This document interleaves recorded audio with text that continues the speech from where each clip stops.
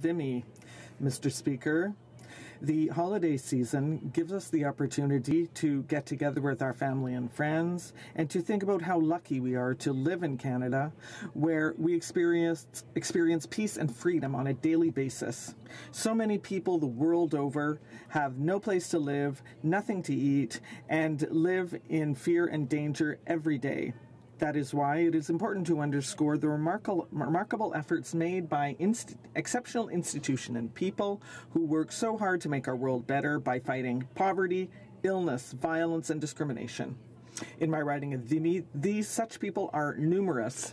I would like to name them all, but I don't have time, so I will commend the Relais Communautaire de Laval for all the work it has done over the past 30 years to help Canadian families who are in crisis. Thank you for everything you do, and Merry Christmas.